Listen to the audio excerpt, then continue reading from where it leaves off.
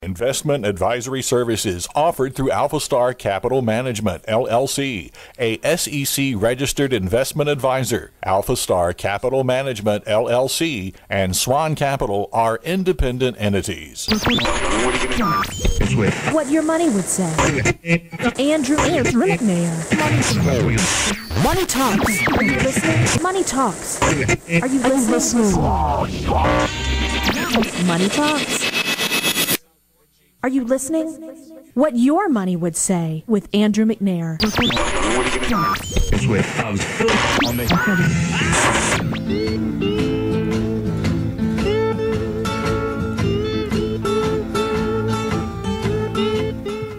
Good afternoon. Welcome to What Your Money Would Say. I'm your host Andrew McNair, and for the next 30 minutes every week, Saturday from 12:30 to 1 o'clock here on WCOA, I will be your retirement resource. My goal, my passion with Swan Capital and What Your Money Would Say is to pull back the curtain on retirement and remove the mystery about retirement planning. Now, I am very excited about today's theme. Um, we had to bring it back. You know, last show we talked about veterans benefits and Social Security benefits. And today we're going to dig a little bit deeper into Social Security benefits after listeners and clients said, Hey, Andrew, could you answer some more of our questions on the air? So I was happy to bring it back. Now, before we bring on our subject matter expert, which is John Sullivan, used to be the past district director of Social Security and was in the Pensacola office for 15 plus years. So you're going to hear an inside scoop from him. But before we do that, I want to share with you some upcoming events that we have here at the Veteran Benefit Project and Swan Capital. Now, my nonprofit, the Veteran Benefit Project, has a couple workshops coming up. One is at Berry Hill Manor, and that's next week, where we're going to share with families at that assisted living and a lot of uh, visitors that are interested in home health care how they can earn up to $24,000 a year from the VA to help pay for assisted living and home health care expenses for wartime veterans and their spouses. Um, also, we have a Social Security Benefits Class 101 at UWF. If you'd like some more information or want to see what the tuition is, I think it's about $35. It's coming up in July. And check out swan-capital.com under the upcoming events tab, and you'll learn more information about that event. Now, as always, check out our swan-capital.com while you're there and sign up for the weekly newsletter uh, where you can get some straightforward financial updates. Now, as I told you, today's theme is about Social Security benefits. It's a very complicated topic. Everyone knows about it, but not everyone knows what to do. Do you take it at 62? Do you take it at 66? Or do you wait till 70? Um, and it's a very important topic to get right because the stakes are high. And as I always tell you in retirement planning, the stakes are high. That's why you want to work with a specialist, not just a general practitioner. This decision in your life is irrevocable. You can't pull a mulligan, you can't do a do over. After 12 months, it's set in stone. So we want to make sure that we do it right the first time. Now, I'm going to share with you some example clients. Um, I'm going to start off with Joe and Mary. They're both age 66. Joe is receiving $1,800 from Social Security, and Mary is receiving $1,100 from Social Security. Um, and if your numbers sound less or more, um, just get the concept here. But I want to get across to you that these benefits, if it's $600 or $1,200, is a lot of money over your lifetime. If you take Joe and Mary's benefits and times that by 20 years, that's $696,000 of benefits they're going to receive from Social Security. Now, if we could maximize that, maybe squeeze out an extra $50,000 over their lifetime, would that be of interest to you? Well, that's what we're going to talk about today. And how we do that is by maximizing benefits using claiming strategies. A claiming strategy is analyzing the rules of Social Security and combining and postponing benefits so we can maximize and leverage those benefits. And the foundation of that, we're going to start off with what's called a spousal benefit. And you have to understand that before you can understand uh, the claiming strategies. A spousal benefit is based on 50% of the other spouse's primary insurance amount, or PIA. And that's basically what you're going to receive at age 66 uh, for layman terms. As the spouse of an insured worker, you are eligible to receive spouse insurance benefits if you meet the conditions below and that's what I'm going to read off to you. Your spouse has filed the retirement benefits. You're not receiving a benefit based on primary insurance amount, which equals or exceeds one half of your spouse's primary insurance amount. You have filed an application for spousal benefits, and you are over age 62. So if you meet all those, you can be eligible for spousal benefits. In the claiming rules before and after full retirement age differ. So there's two ways to look at it before age 62 or at 66 and after full retirement age. So the rules differ. Now, if you're before full retirement age, you don't many you don't have very many options. A claim for either a spousal or retirement benefit is deemed claim for both, which in other words means if before your full retirement age, you cannot choose which benefit to collect. You automatically get the highest. Now, at 66 or after the full retirement age, you can choose to file for both benefits or restrict the application for either spousal or retirement benefits. So you always remember when you reach full retirement age, you have more options and you can choose when to collect. So the claiming strategies that I'm going to highlight today, again, I'm just going to highlight these claiming strategies. Every situation is different. Joe at the water cooler that's telling you that he's going to do it at age 62 might not make the most sense for you. Or your neighbor that says, I'm going to wait till age 70 because I heard that I get an 8% increase every year. Again, your situation may be different. You have to look at longevity you have to look at how much assets you have. There's a lot of things you have to think about. That's why it takes a plan and a strategy. And that's what we do at Swan Capital. We sit down and have a free consultation with clients and, and families and determine how we can optimize and leverage their social security benefits so that Joe and Mary don't only receive 696,000, they receive more than that. But those claiming strategies is the first one is the file and suspend. That's probably the most well known is where one earner can file for benefits and immediately suspend the payment. And generally, the higher earner files and suspends, but sometimes the optimal strategy involves the, the lesser earner to do it as well. So, file and suspend, remember that. The second one is a file a restricted application for only spousal benefits, also called restricting the scope of the application. So, what that does is we collect spousal benefits while the other benefits accrue with delayed retirement credits. Now, this last one I'm going to share with you is voluntary suspend. This is where we start benefits early at age 62, and if we realize it was a mistake and we want to, at age 65, age 66, we want to suspend it. We can do that, and we can delay those retirement credits so at age 70 we get a larger check. Okay, again, as I told you, this is a complicated topic, and I wanted to bring in a subject uh, matter expert on the topic who I'm going to bring in today, um, he's a good friend of mine. His name is John Sullivan. He's the CEO of Social Security Benefit Solutions and also the past district director of Social Security. John, will you share with us your background from Social Security? I started with Social Security back in 1972, so I've been around for a while as far as Social Security goes. I started with Social Security in Tampa as, believe it or not, the, as a mail clerk. From the bottom floor in the mailroom. And then uh, moved myself up. Um, until I finally retired as the district manager here in Pensacola, Florida. And the different jobs I've had in Social Security go from um, supervisor to staff assistant to working with disability, working with the uh, attorneys and stuff that we have. So it's been a, a really wide variety of uh, positions I've had and uh, very, very interesting. Now, today's show, I wanted to focus more on the retirees. Um, now, as the retirees get closer and closer to the Social Security age, they have a lot of options and we were talking about how we're living longer and longer times and so this has become a more and more of an important decision because we need to maximize these social security benefits. Absolutely. Uh, when social security was first started uh, they were letting you retire at age 62 but your life expectancy was 60 so they were hedging their bets a lot then. Uh, now uh, they still let you retire at 62 but you're living to 75 80 85 years of age.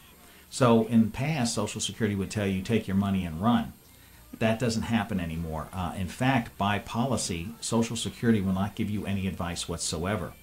Uh, in the past, they would say, well, you could retire here, this would be to your advantage, this wouldn't be to your advantage. Now they just ask you, when do you want to retire? We're not giving you any opinions. But they don't want to be a liability. Right. I'm sure they lost a lawsuit somewhere because they gave some advice and sure. pan out.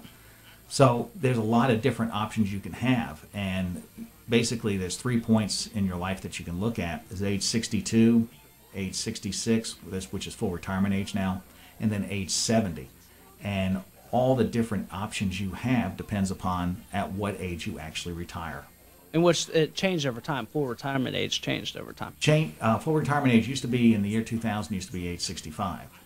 Now today it's age 66, and it is going up to age 67. Slowly bumping it up, and then anytime you take your benefits before age, um, your full retirement age, which is 66 this year, your benefits are permanently reduced on that record.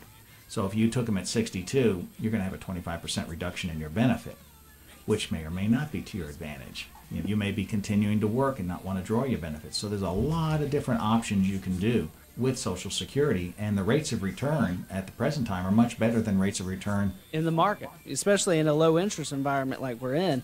You know, when you can wait and every year is eight percent, that's that's a, a lot of good earning. Now, there's a lot of common questions I get from clients and their families. One of the biggest one is, will Social Security even be there for me? Yeah, and I've always been asked that in the 40 years I've been with Social Security, and I can really honestly say yes, it will be. Okay, and the reason for it is is several. Is one, as long as we can tax the American public, you'll always see social. And Death and taxes, right? We're not going to avoid those. Absolutely. And they tax you more and more every year. A lot of times people don't even know what's happening, but it is. But it's like Medicare. You don't even see the 104.90 that comes out of your check. Right. Absolutely. And and we charge you uh, when you first earn FICA, they take out Medicare. Then they, when you um, start drawing your Social Security, you start paying taxes on your Social Security, so they taxed you twice. And then Medicare, which they call a premium, but it's just another form of tax. so they're taxing you three times in the same amount of money. Triple taxation. Absolutely, and uh, but there's a lot of um, benefits out there. So, with Social Security taxing it triple times, what are some other options Social Security can continue to be funded? Well, Social Security, first of all, decreases benefits almost yearly. At one time, students used to get benefits till they were 22. Now it stops at 18 or 19 if you're still in high school. They used to that lump sum death payment, that 255. Anybody used to be able to get it uh, as long as you accepted responsibility for the funeral. Well, now the only people that can get it are widows, widows living with, and children under the age of 18. Otherwise, that benefit's never paid in. So they, they changed the benefits around quite a bit. And they pass it while no one's looking on C SPAN. They pa- absolutely. They They pass laws usually two times. One in an election year. It's usually six months before the election or less because the American public has an attention span of less than six months. Or if it's a non-election year, they'll pass it around Christmas time because nobody's paying attention, and they get the laws passed, and then it hits them in January when they least expect it. They got it down to a science. They really do. And as far as, you know, Social Security continuing, even in the year they, they say Social Security is going to go broke, and that's never true because Social Security is a pay-as-you-go system. They won't. They'll run out of reserves and run out of the interest on the reserves uh, in the year 2033. Now they're expected to.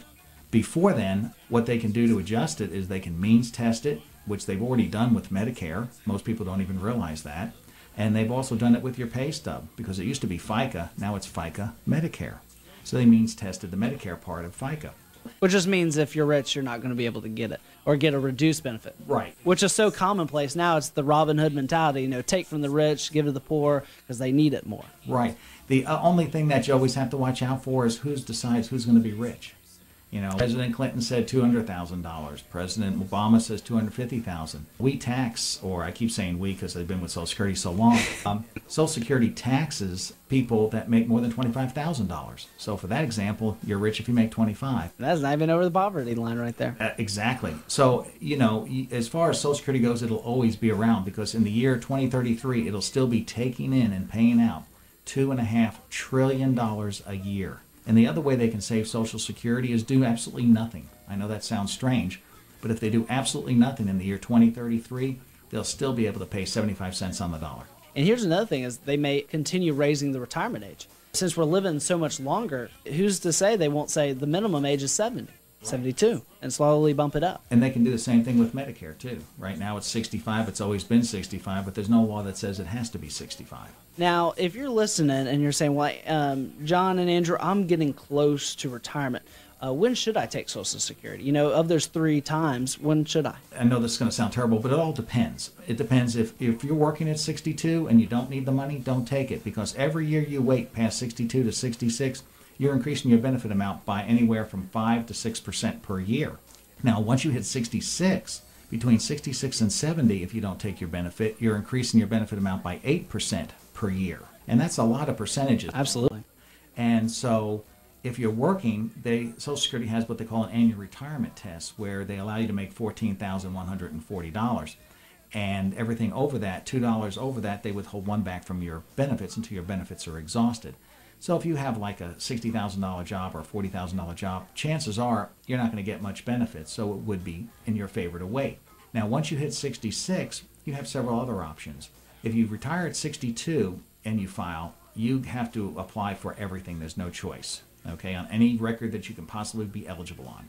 But when you get to 66, you can choose what records you want to be on. So if you wanted to hold yours back because, you know, you're making some decent interest on it, you could draw off your spouse's record and get half of whatever your spouse was getting. Hold your record back to get those 8% per year interest rates. So it's more than just applying at a certain age. There's so much more that goes into it. Nothing's simple anymore. It used to be simple 40 years ago when I started with Social, but it's nothing simple anymore. And that's why I always tell everybody that you need to look and probably get advice. Nothing's simple anymore. I mean, when if I want to know about Social Security, I can talk about it. But if I need financial advice, I need to go to somebody who's trained in that area. So I always tell everybody go and see what your personal situation is. Don't rely on your neighbor or anything like that. Right, because Joe at the water cooler has different set of incomes, a lot of different factors that it might not be the exact same decision for you than it is for him. And in fact, most of the time, it's not the same decision. Okay, and so I always tell everybody you might have another stream of income that's only paying you two percent. Well, you might want to say, well, I'll stay away from my Social Security because I'm getting eight on that, and use the stream of income that's only giving me two percent so I'm still making more money that way because that's what it's all about. If you can take the emotion out of Social Security, because that's a very emotional subject to people, right? If you can just look at it as a stream of income, your life would be so much easier. Now, if you're just tuning in, we have John Sullivan from the Social Security Benefit Solutions, who used to be the district manager for the local Social Security office. And we're talking about some really common questions for retirees, like Will Social Security be there for me? When should I take Social Security? The next question I want to ask you, John, is how do you actually determine the benefit? What does Social Security look like to come up with your annual figure? Social Security is very clever at this. Okay, what they do is they take your highest 35 years between 1951 and the year you turn 62. And so the more years you have in an average, the lower your average is going to be. Law of averages working against you. That's right. And so they use your highest 35 years. Then once you're past age 62, they look at the, that year you're 63 and is that year higher than one of the years they use to compute your benefit amount. More complex they don't use what you actually made. They use what they call real year dollars. So if you made in 1951 you made $1000 that's actually worth 12500 today. If they use that in your computation and you worked let's say and made $20000 they would take that 12,500 and pull it out of your computation, put in the 20,000 and recompute your benefits. But let's say that you uh, work at Tom Thumb and you uh, only made $10,000 that year. Well, at that point, they wouldn't take the $12,000 out because the $10,000 is lower than the 12,000 and there would be no recomputations at all. And they continually do that as long as you continue to work. Now, one of the things I always tell everybody that if you are drawing Social Security benefits, that process that I just described takes about 18 months. If you want your money faster, you just take your W 2 down to the Social Security office. They'll kill me for saying this. Uh, yeah, you take it down to the Social Security office and say, please recompute my benefit. And three weeks later, they'll recompute your benefit. But if everybody did that, they'd be doing nothing but recomputing benefits all the time. But, you know, that way you don't have to wait the 18 months, you get your benefit right away. Again, it's it's way more complicated than just averaging 35 years of uh, your your service uh, at work. And um, again, John's right; it's complicated. And if you're thinking, when should I take Social Security? Is Social Security going to be there for me? And those are some concerns for your financial plan. Here at Swan Capital, that's swan-capital.com, you can schedule a consult where we'll look at your personal situation and determine what is the best time to take Social Security. John, I want to talk about maximizing benefits these benefits are a lot of times a good portion of people's retirement income. We want to make sure we maximize them as much as we can. One of the options you hear tossed around is called file and suspend. Could you talk a little bit more about that? Well, you can you can have your benefits suspended. Uh, they did a loophole last year. They closed it. What people were doing uh, when they passed a new law, you could take your benefits until you reached age 66 or until you reached age 70, and you could keep collecting your benefits. And then at age 70, turn all that money back to Social Security because sometimes people aren't sure how long they're going to live, so they were hedging their bet. And you just keep throwing the benefits and, and sock it away in the bank and draw interest off the government's money, then turn the money back in and refile.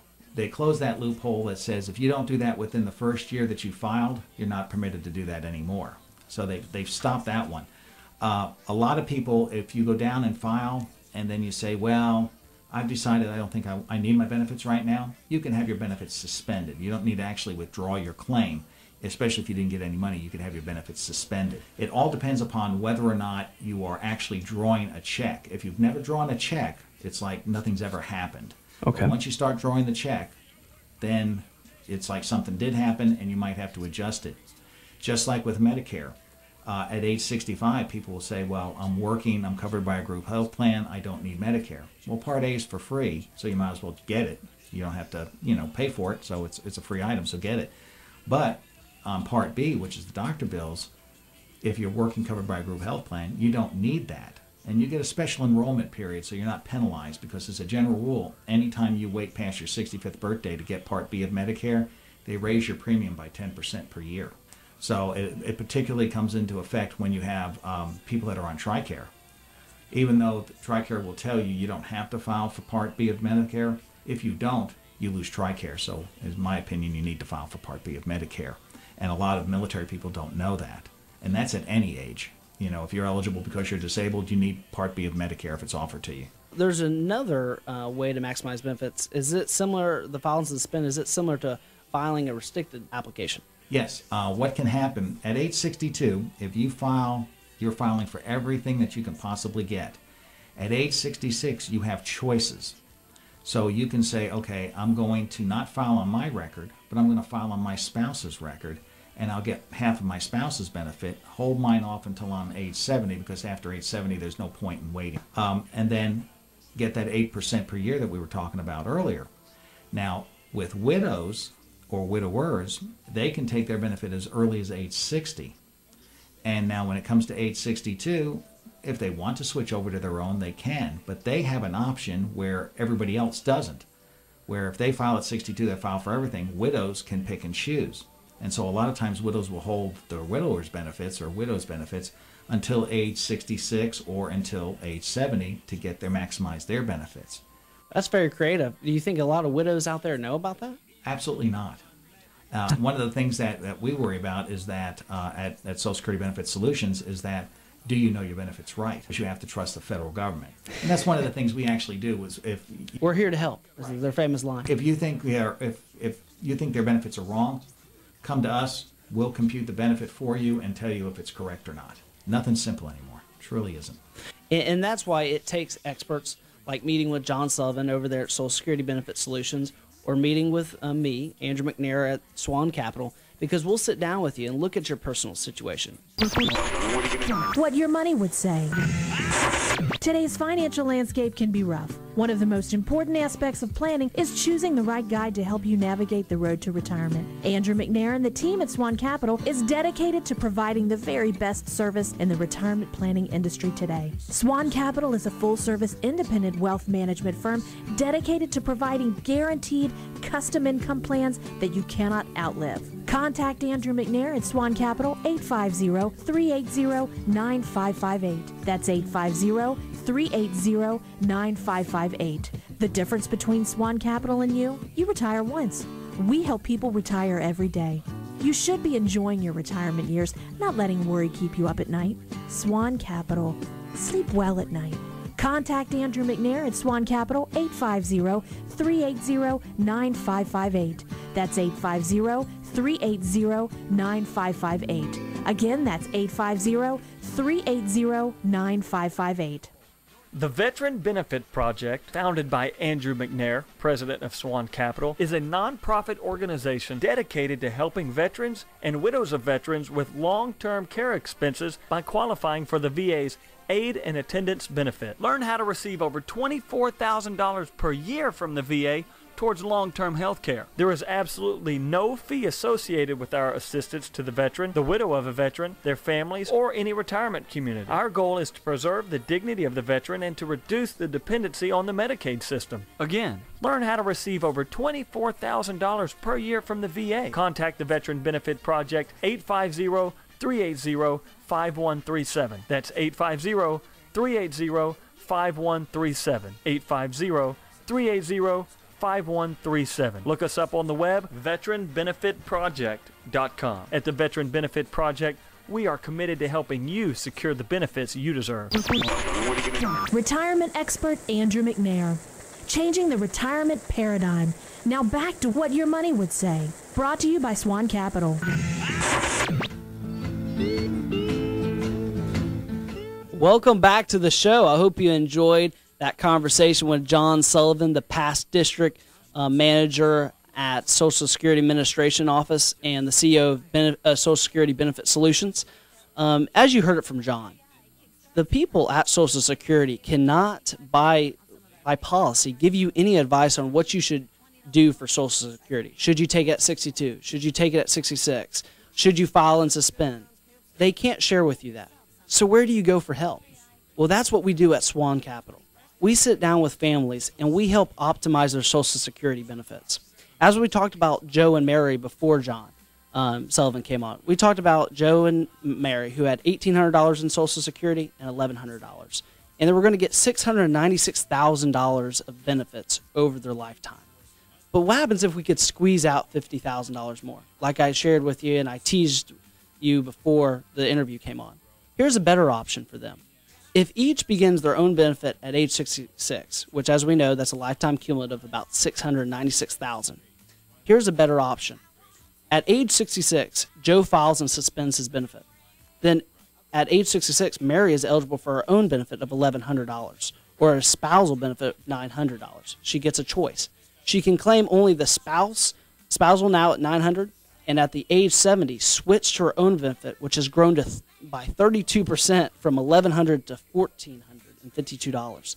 And then Joe claims at age 70 when it has grown to 2,376. That lifetime cumulative is $778,000. That's $82,000 more that they were able to withdraw from Social Security. And as a retiree, you've paid into Social Security. I don't want to make sure that you get every dollar that you put into it and then some. So if you're looking to see how you can maximize your Social Security benefits, there's two ways you can get in contact with us. The first is going to our Social Security benefit class at UWF. The tuition is $35, and we're going to go in depth for two classes on what can make the most sense for retirees when selecting the decision on, on Social Security. The second way is coming into Swan Capital and have an in, uh, in-house consultation. And what we do there is we share with families what our firm is about. We share with you how Social Security works, and we, then we look at your situation to determine a custom plan to help you optimize your Social Security benefits.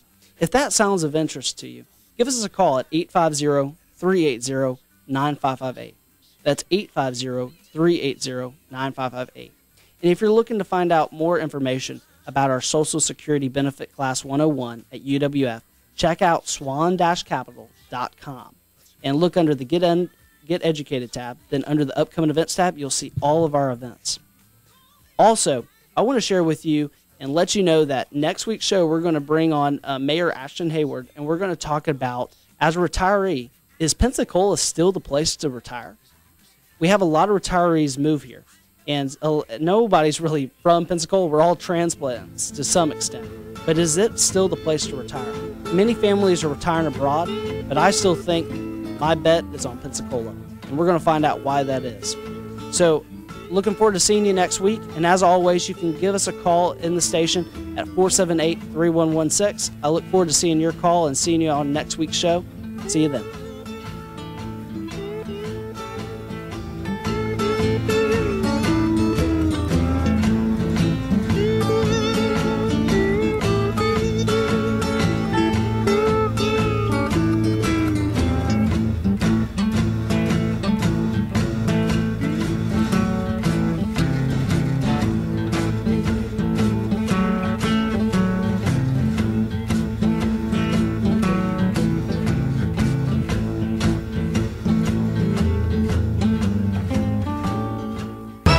Kickstart your weekday mornings with Don Parker and Jim Sanborn I wake up to it every morning. on News Talk 1370 WCOA.